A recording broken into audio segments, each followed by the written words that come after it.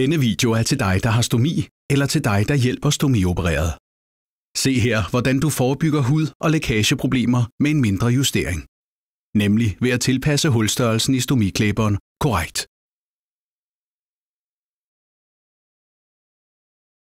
Krop og stomi kan forandre sig, og det har betydning for hulstørrelsen i klæberen. Stomien forandrer størrelse de første 6-8 uger efter operation, så her skal hulstørrelsen have ekstra opmærksomhed. Hvis du taber dig eller tager på i vægt, kan din stomi også forandre sig i størrelse og fason. Det er vigtigt, at hullet i klæberen passer til stomien. Hullet er korrekt tilpasset, når der ses 1-2 mm maveskin mellem klæbekant og stomien hele vejen rundt. Klipper du for stort, risikerer du en hudskade.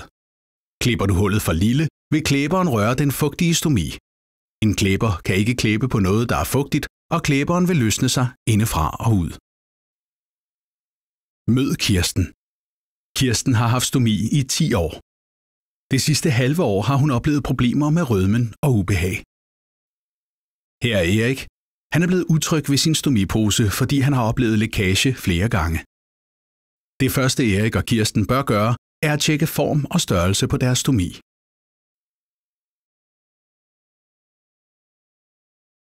Til det skal de bruge deres stomiprodukt, en todels basisplade eller en etdels pose, et måleværktøj eller en lineal, en stomisaks, som er buet, en kuglepen og måske en ny skabelon eller et stykke pap til at lave en ny skabelon af det nye mål. Din stomi kan ændre størrelse og fason alt efter, om du står, sidder eller ligger ned. Mål altid din stomi i både siddende og stående position. Hullet skal passe, når stomien er størst. Får du hjælp som her, sid og stå da over for hinanden. Er du alene, så brug et spejl. Husk, du kan ikke tage mål, når du ligger ned, for der er stomien mindst.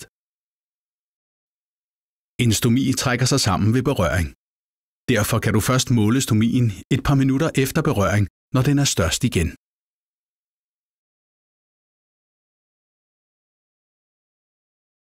Har du en rund stomi, afprøver du de forskellige huller i dit måleværktøj. Erik og hans sundhedshjælper ser nu, at hans stomi er vokset en størrelse. Den måler nu 30 mm. Erik optegner derfor det nye mål på stomiklæberens klippeguide ved hjælp fra måleværktøjet. Herefter klipper han hullet i klæberen efter optegningen. Stregen skal klippes helt af. Inden han tager beskyttelsespapiret af, tester han, at den passer. Så påsætter han sit stomiprodukt ved at aftage beskyttelsespapiret på sin etdelspose og sætter den rundt om stomien. Herefter trykker han i 30-60 sekunder indefra og ud, så klæberen sidder godt fast på maveskinnet. Når stomien ikke er rund, ligesom Eriks, skal man opmåle lodret og vandret. Kirsten får målene 27 mm gange 38 mm. De mål optegner hun på en ny skabelon eller et stykke pap.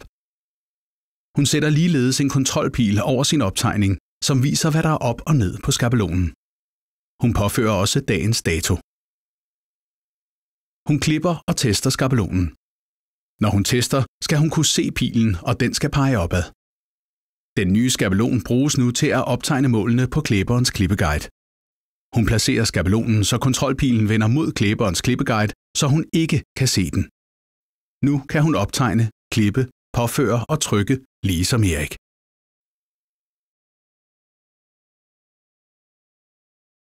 Nu kan både Erik og Kirsten genoptage dagligdagen uden at bekymre sig om rødmen, irritation eller lækage.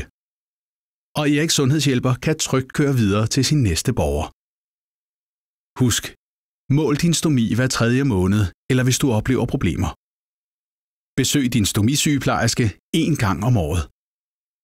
Har du spørgsmål, så tag fat i din lokale stomisygeplejerske eller ring til Koloplast på 49 11 12 13.